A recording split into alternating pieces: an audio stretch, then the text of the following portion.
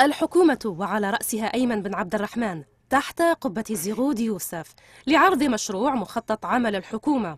المشروع الذي يتضمن خمسة فصول يهدف إلى إيجاد حلول مستعجلة للوضعية الاقتصادية التي تعيشها البلاد. نواب البرلمان اعتبروا أن المشروع طموح لكن التحدي يكمن في كيفية تطبيقه على أرض الواقع.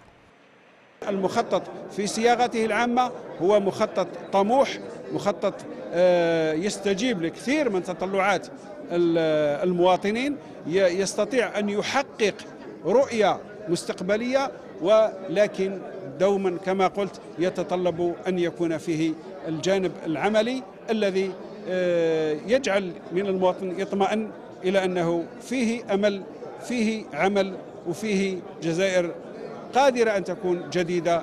مشروع مخطط عمل الحكومة. أول جلسة عمل للبرلمان الجديد المنبثق عن تشريعيات 12 جوان.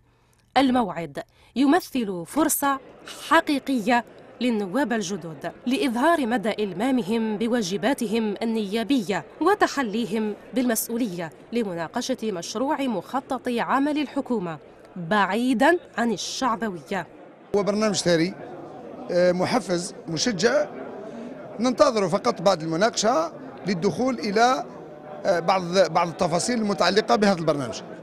لأنه لما نتحدثوا على الاستثمار مثلا آه، في نقطة الاستثمار اللي هي نقطة أساسية جدا خصوصا مع الظروف الاقتصادية والاجتماعية اللي تعيشها البلاد.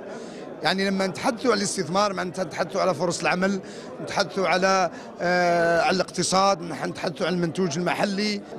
هناك نية صارمة نتمناو إن شاء الله تكون هناك حلول مستعجلة لأنه المواطن يعيش في ظروف صعبة جدا.